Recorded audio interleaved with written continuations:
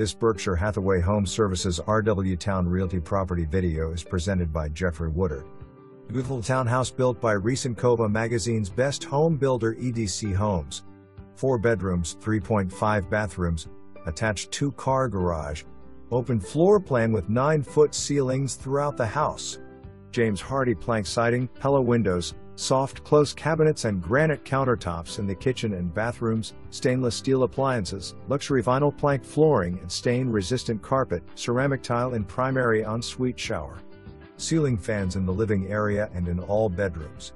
Only two blocks to the beach, near Little Creek Amphibious Base. Local restaurants and marinas, you can launch your kayak in minutes. Not all features are standard. No flood insurance is required. November 13, 2024 For more information, review the details below.